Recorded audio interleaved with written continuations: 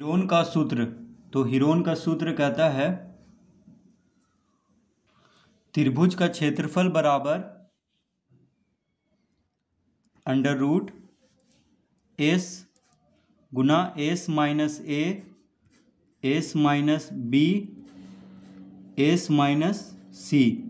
ये होता है हिरोन का सूत्र। तो यहाँ पे एस क्या है? तो एस है तो एस बराबर होता है A plus B plus C बटा दो। तो A plus B plus C क्या है? यानी त्रिभुज का तीनों भुजा। जैसे मान लीजिए यहाँ पे एक त्रिभुज है। देखिए, ये एक त्रिभुज है। इसमें ये जो है ए बी सी एक त्रिभुज है। जिसमें कि बी सी भुजा ए है ए सी भुजा बी है और ए बी भुजा है सी तो त्रिभुज के तीनों भुजा को ए बी सी से लिखेंगे।